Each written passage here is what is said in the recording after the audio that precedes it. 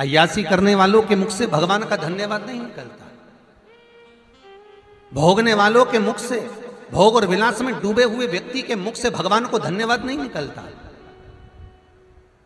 अगर भोग और विलास में डूबा हुआ व्यक्ति अपने को धन्यवाद देता वो तो मैं नहीं होता तो ये काम नहीं होता वो तो मैंने कर दिया। और किसी की सामर्थ्यता थी वो अगर मैं नहीं करती तो ये होता ही नहीं। वो तो मैं नहीं होता तो ये काम नहीं होता। हाँ, जो जो अहम में डूबा हुआ है जो वासनाओं में डूबा हुआ है जो तृष्णा में डूबा हुआ है जो आसक्ति में डूबा हुआ है जो काम में डूबा हुआ है जो लोभ में डूबा हुआ है जो अहमता के बिंदु पर डूबा हुआ है उसको लगता है कि सब अच्छा काम मैं ही करता हूँ। दूसरा दुनिया में कोई नहीं कर पाता। हम अगर चार चार भाई हैं, तीन भाई हैं, दो भाई हैं, छह भाई हैं, सात भाई हैं, पाँच भाई हैं, एक भाई हैं। हम जितने भी परिवार में लोग रह रहे हैं, हमारी मन की आकांक्षा, हमारा अहंकार, हमारा काम, हमारी आसक्तियाँ, हमारा लोभ, हमारी तृष्णा, हमारी वासना और हमारा मोह, ये हमारे सामने खड़ा होकर कहता है कि सब अच्छा काम मैं करता हूँ। वो तो तुम नहीं होते तो कोई ना करता। मैं ना करता तो कोई काम ही नहीं होता। ये हमारी आसक्तियाँ बोलती हैं।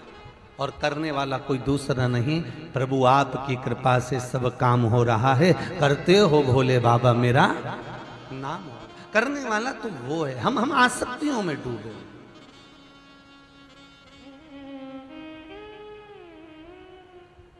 इसीलिए शायद कहते हैं, शिक्षा और संस्कार।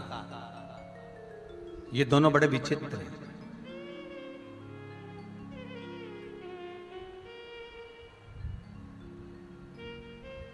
राम जी को क्यों पढ़ने के लिए भेजा गया? क्या राम जी भगवान थे तो क्या उनको ज्ञान नहीं था? संपूर्ण ज्ञान था। क्या भगवान कृष्ण को ज्ञान नहीं था? संपूर्ण ज्ञान था। जी को भी संपूर्ण ज्ञान था और मेरे कृष्ण को भी संपूर्ण ज्ञान था।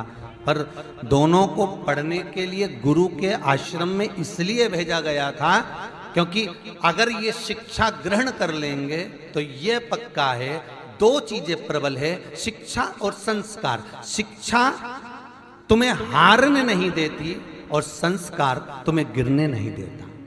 ध्यान दीजिएगा। अगर राम को भेजा गया है तो इसलिए भेजा गया कि ये कहीं हारे ना।